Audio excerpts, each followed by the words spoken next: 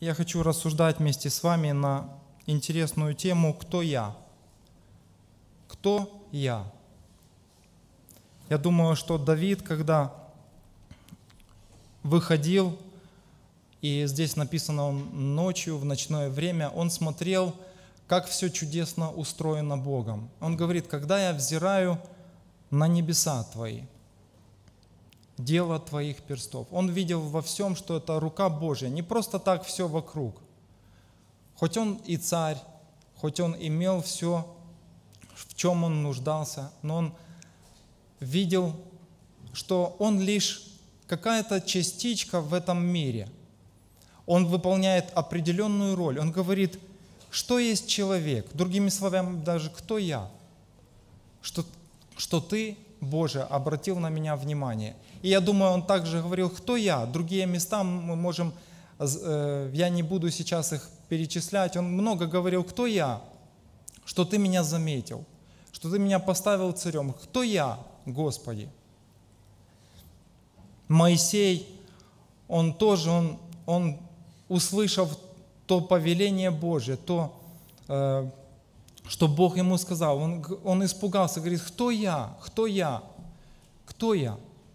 Я ж никто, я вообще, он просто представил себе всю ту миссию, которую нужно будет сделать. Он ведь был уже в Египте, он пробовал как-то своим э, соплеменникам помочь, ничем это хорошим не закончилось. Он говорит, кто я? Кто я? Но Бог ему говорит, ты именно тот, кто ты должен быть. И ты пойдешь, и ты выполнишь то, что я тебе э, говорю. И у тебя все получится, потому что я буду с тобой. И Иеремия, он подчеркивает эту же мысль о том, что в нашей жизни так важна Божья рука, Божье определение. Он говорит, только Бог, Он знает, кто мы на самом деле. Только Бог знает то, чем мы должны заниматься. Только Бог знает то место, где мы должны быть. Какая наша миссия, какое наше служение. Только Бог знает. И то, что знает Бог, это послужит нам на добро. Я думаю, что вы э, согласитесь, если Э, с этой мыслью, что когда человек не понимает, зачем он здесь на земле, очень много приходит проблем в жизни человека. Как много людей находятся сегодня в депрессии. Многие люди вообще, они принимают решение, они, я вообще не хочу больше жить. Особенно сейчас, когда э, ситуация в стране э, ухудшилась, и не только в нашей стране, во всем мире, люди теряют работу, Люди теряют вообще какую-то твердость под ногами, они не понимают, что будет завтра, что завтрашний день принесет. И каждый человек, он нуждается в том, чтобы вот прозвучало какое-то Божье определение для него, почувствовать под ногами твердое основание – почувствовать, что я здесь не случайно, что я выполняю определенную миссию, определенное служение, я нужен здесь, а не просто так. Прежде всего, э, я хотел бы в общем обратить внимание, кто я, кто я. Есть такое понятие психологии «я концепция». Я думаю, может, вы слышали. «Я концепция». Есть такое понятие психологии. Кто я? Кто я? Это такое как бы совокупность понятий человека о самом себе. О самом себе. Как человек воспринимает сам себя в этом мире. И я концепция, она включает в себя вот то, что наши эмоции, эмоциональная часть, то, что касается нашей самооценки, как мы себя оцениваем, самооценка наша, как оцениваем мы сами себя. Иногда люди просто на, на самооценку нашу влияет много факторов сегодня. Если дети, то они вырастают, э, на них влияет оценка их родителей. Как родители оценивают детей, что они им говорят, какие слова дети слышат, когда они вырастают.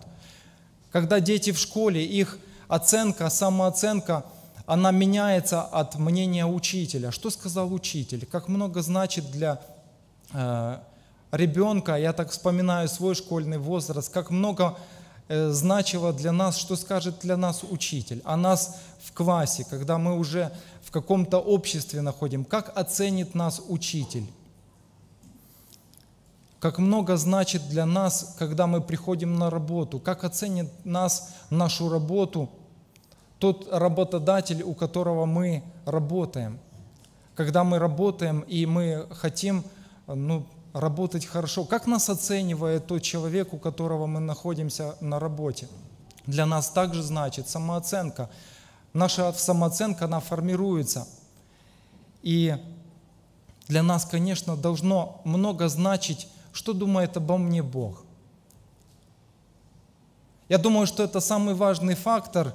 И как бы не думали обо мне там учителя, родители даже, кто-то из работодателей, как бы не оценивал меня, самое важное самооценка, что скажет о мне Бог – Задавали ли мы такое, такой вопрос себе сами? Как оценивает меня Бог? Что Он обо мне думает вообще? Важно ли этот вопрос для меня? Как оценивает меня Бог? Как оценивает Он мои, мое внутреннее состояние, мое сердце, мои эмоции, мои слова, мои поступки? Как оценивает Бог? Сегодня в, в этом падшем мире, когда человек согрешил – то э, очень много повлияло на человека. Очень много повлияло на человека, очень много исказилось в человеческом э, характере, в человеческой самооценке. Грех исказил представление самого человека о самом себе. И грех исказил представление человека о Боге. Я думаю, мы часто слышим искаженное представление о Боге – от кого-то из неверующих людей. Они представляют, что Бог где-то далеко, и, и он, пусть Он там будет, а я буду где-то тут. И человек, он отделяет себя от Бога. И происходит то, что в человеке много всего нарушается. В человеке много всего нарушается. И второе, на что я хотел обратить внимание, кто я без Бога? Кто я без Бога? Я не знаю, когда вы пришли к Богу, когда вы покаялись, что вас побудило покаяться. Но я знаю, что во мне много всего было нарушено. Когда я услышал Божье Слово, и я пришел в церковь, оно как-то вот, как будто я пришел вот на то место, которое как раз мне и нужно. Как будто я нашел то, чего мне и не хватало. Но что было без Бога? Что было без Бога? Псалом 13 говорит, «Сказал безумец в сердце своем, нет Бога. Они развратились, совершили гнусные дела, нет делающего добро. Господь с небес презрел на сынов человеческих, чтобы видеть, есть ли разумеющий, ищущий Бога. Все уклонились, сделались равно непотребными, нет делающего добро, нет ни одного. Представьте себе состояние человеческого общества и каждого человека. Я думаю, что мы вспоминаем самих себя, в самих себя. Образ Божий в человеке был искажен и испорчен. Мы делали добро очень э, каким-то особым образом, но Бог говорит, нет делающего добро вообще. Мы думали, что мы делаем добро иногда, но на самом деле это не было добро перед Богом. И еще одно место я хочу прочитать. Оно также очень важное. Послание к римлянам, первая глава.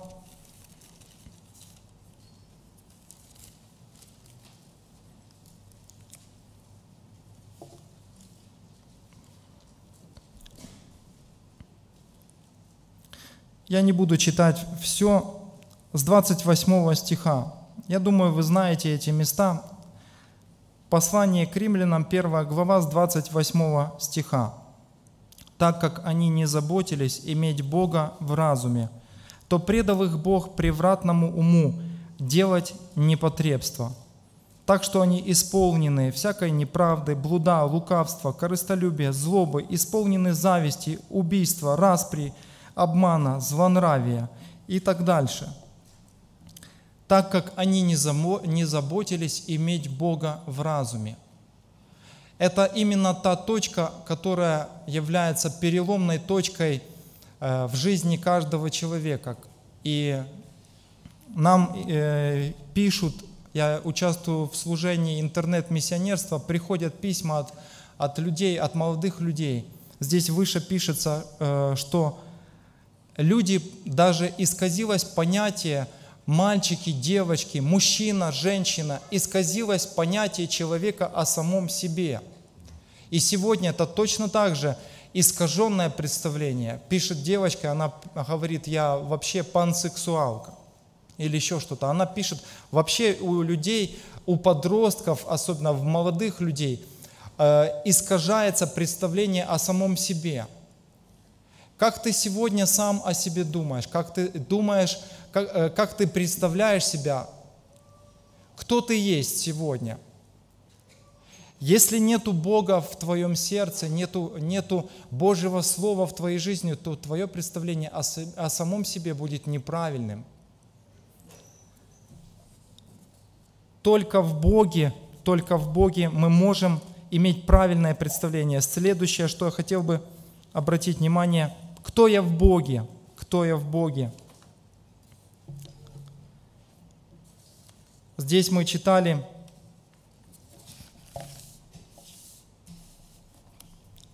много мест Писания.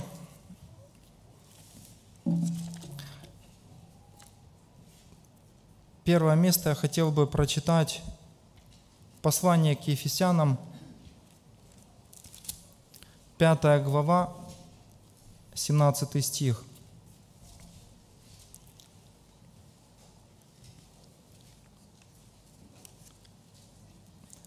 Итак, не будьте нерассудительны, но познавайте, что есть воля Божья.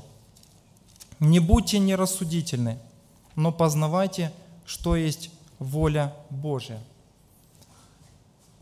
Кто я без Бога? Мы перед этим говорили. Самое печальное, что человек говорит «я сам» я сам по себе, я сам всего добьюсь, у меня все получится, я сам по себе. Самое печальное, что может быть у человека, когда э, он сирота, когда нету родителей, когда нету, когда ребенок, он сам по себе растет. Это самое печальное, когда человек, имея Бога как Творца, он говорит, я сам по себе, я сам по себе. Он отделяет себя полностью от Бога. Но совсем все меняется, когда человек приходит к Богу, и он говорит, Господь, Ты мой Бог, Ты мой Бог. И здесь э, апостол Павел, он говорит,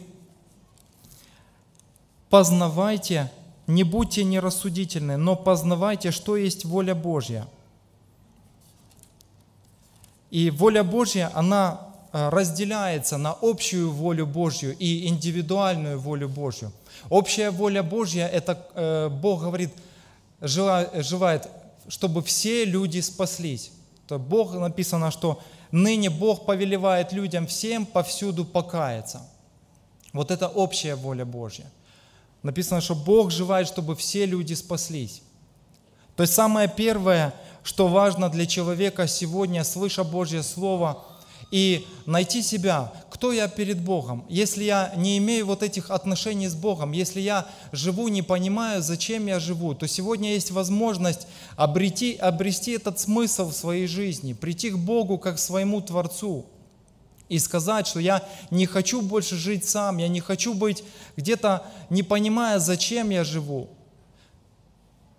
Для, для каждого человека сегодня очень важно найти себя – найти себя в Божьей воле. Написано, «Ибо так возлюбил Бог мир, что отдал Сына Своего Единородного, чтобы всякий верующий в Него не погиб, но имел жизнь вечную». Бог очень сильно возлюбил каждого из нас. Бог возлюбил нас настолько, что отдал Своего Сына.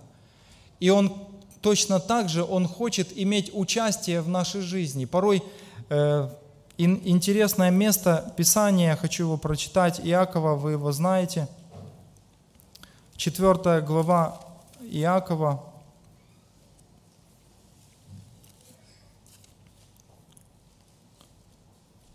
С 13 стиха.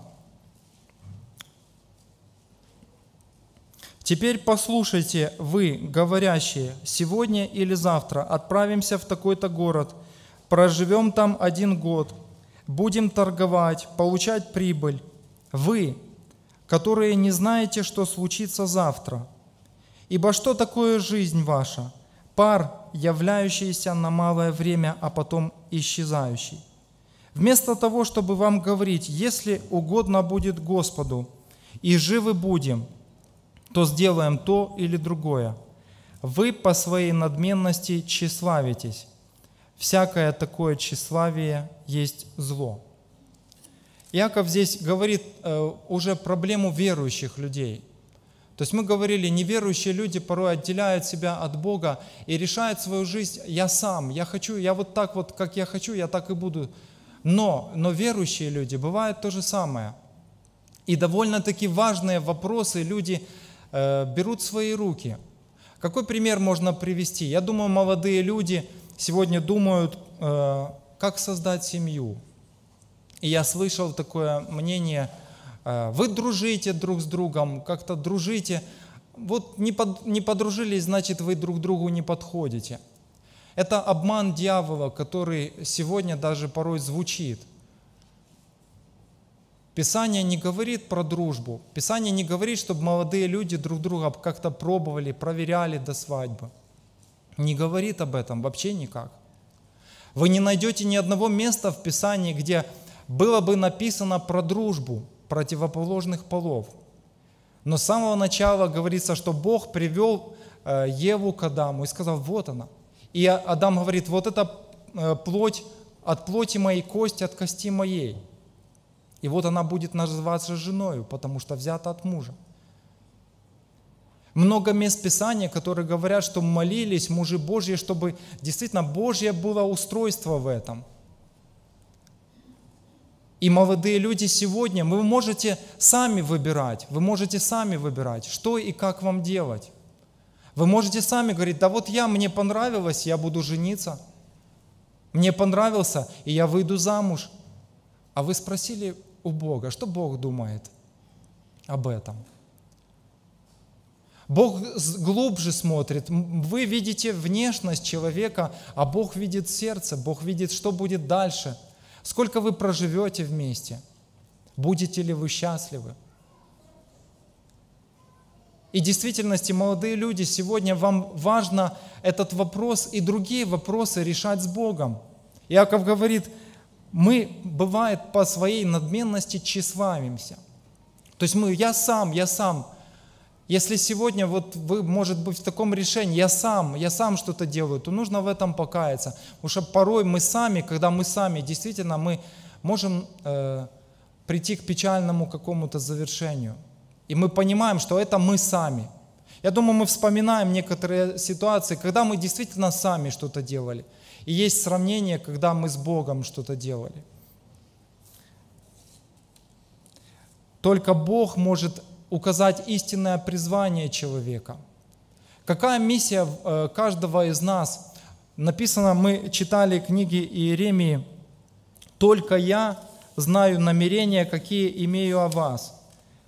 Намерения во благо, а не на зло, чтобы дать вам будущность и надежду. Только я знаю намерения какие имею о вас. Если мы посмотрим вокруг, э, как все чудесно создано, даже на одном и том же дереве вы не найдете одинаковых листочков. Каждый листочек, он имеет разную форму, разную структуру листика. На одном и том же вы не найдете одинаковых. Каждый из нас индивидуальность, и каждого из нас Бог создал и предназначил для какой-то особой цели, для какой-то особой миссии – и мы действительно, бывает, слышим, вот это действительно врач от Бога, или вот этот водитель от Бога, или еще кто-то там, какое-то качество в человеке, и он действительно от Бога, он на своем месте. Есть такое выражение «не садитесь не в свои сани». Если мы сели не на свое место, кстати, вы на своем месте сегодня сели, вот когда вы пришли в зал, как вы думаете, вы на своем месте сидите? А почему вы так решили? Просто оно вам подходит. Но это не значит, что вы сели вот именно вот там вот. Так нельзя сказать.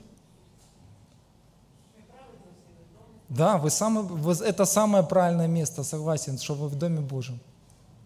Такое есть место, вы правильно сделали, что пришли. Хорошо сделали, что пришли. Я не об этом. У каждого из нас написано, как живые камни, устрояйте из себя дом духовный, священство святое, чтобы приносить духовные жертвы, благоприятные Богу Иисусом Христом. Каждый из нас предусмотрено какое-то особое служение, какое-то особое дарование. И если это дарование, оно не служит Богу, то церковь тоже, она в ущербе, и вы в ущербе, потому что вы не на своем месте. Вы не выполняете то, для чего вы предназначены Богом. Каждому из нас нужно задаться сегодня целью, выполняю ли я то, что предназначил для меня Бог. У нас не будет сердца покоя, мы будем чувствовать какой-то дискомфорт, пока мы не займем вот это место, которое для нас предназначено. И в церкви не просто мы пришли и ушли, не просто мы заняли место в зале, посидели на нем и вышли, а какая на вас нагрузка сегодня – когда вместо э, в строении Божьем, когда вы посмотрите на дом, у него каждый кирпичик, он несет какую-то какую-то нагрузку. Чем ниже кирпич, тем больше на нем нагрузка. Не только на братьев, проповедников должна держаться церковь, не только они должны нести нагрузку. Но каждый из нас должен понимать, что я не просто так в церкви, я не просто так пришел и ушел, я не просто так сегодня вообще живу. Но для меня есть особая миссия, и только Бог ее знает, что я должен исполнить. И если я не исполню той миссии, которая для меня возложена на меня, то что я скажу Богу? Господь спас меня, Господь нашел меня, Господь привел меня в церковь не просто так. Он не просто так это сделал. Как много людей вокруг, посмотрите, как они живут – я недавно услышал сегодня статистику, 20% населения э, Земли только кушает нормально. Слышали вы такое или нет? 80% они даже не знают, что такое нормальная пища и нормальная еда. Они не знают, что такое нормально жить. 80% населения Земли. Благодарите Бога, что вы живете на Украине. Я себе это говорю. Давайте будем благодарны Богу, что мы живем на Украине, что у нас есть хлеб. 20% только кушает нормально. А сколько людей сегодня не знает Бога вокруг нас? И сколько могут узнать в зависимости от того, на своем ли мы месте сегодня? Мы говорили сегодня, кто я, кто я, кто я. Мы имеем свое собственное представление о себе – у нас и может быть искаженное представление о себе, если мы сегодня живем без Бога. Если мы где-то отошли от Бога, наше представление меняется о самом себе, о Боге наше представление меняется. Мы искаженно видим окружающий наш мир. Кто я? Только с Богом в действительности я могу найти себя. Кто я на самом деле? Для чего я живу? Какое мое предназначение? Только с Богом у меня все получится – Павел говорит, я все могу в укрепляющем меня Иисусе Христе. Я все могу. А без Бога можно сказать, я ничего не могу, так как должно.